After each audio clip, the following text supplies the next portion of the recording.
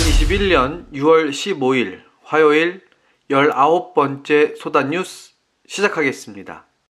잠깐 구독과 좋아요 부탁드립니다.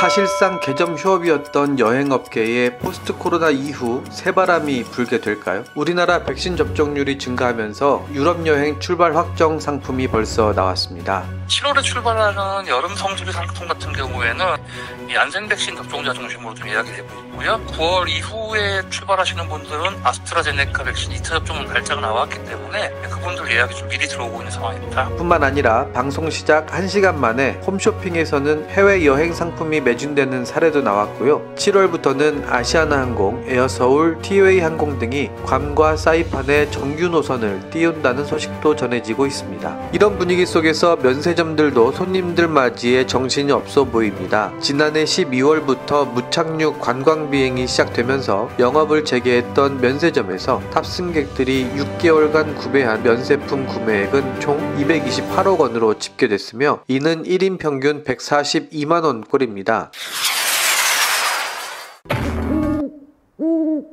행정안전부는 어제 2021년 찾아가고 싶은 33섬을 선정하여 발표했습니다. 행안부는 2016년부터 섬 지역의 관광 및 지역 경제 활성화를 위해 매년 찾아가고 싶은 섬을 선정해오고 있는데요. 걷기 좋은 섬, 사진 찍기 좋은 섬, 이야기 섬, 쉬기 좋은 섬, 체험의 섬등 다섯 가지 테마로 나누어 33섬을 최종 선정하였습니다. 이 정보를 널리 알리기 위해 온라인 전시관 등 다양한 홍보 및 이벤트를 실시 예정입니다.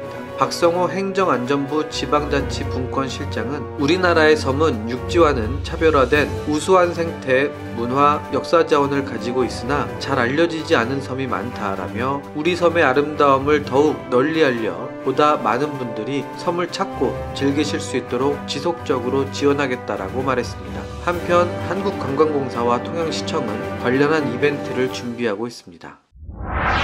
한국관광공사는 오늘 17개 광역지자체와 대한민국 안심여행 캠페인을 연말까지 실시한다고 밝혔습니다. 최근 국내 여행이 뚜렷한 회복세를 보이고 여름 휴가 시즌이 다가오는 가운데 관광객의 안전을 확보할 수 있는 방역 관리 기준을 보다 구체적으로 제시하고 국민들에게는 안전여행에 대한 의식 고취를 위해 추진됩니다. 캠페인과 함께 방역당국의 자문을 받아 이와 같이 7개 부문에 걸쳐 관광지 특화 방역 수칙을 제시했는데요. 한국관광공사 정혜경 관광복지센터 안전여행 파트장은 이번 대한민국 안심여행 캠페인은 코로나 이후에도 안전여행이 주요 관심사로 예상되는 만큼 이에 대비한 관광지 방역 관리 체계를 여행 문화로서 확립해 나가는 계기가 될 것이라며 지자체, 기업, 관광객 모두가 성숙된 의식을 가지고 방역 수칙 준수를 체질화해 안심 여행 환경을 조성해 나가길 바란다고 협조를 당부했습니다.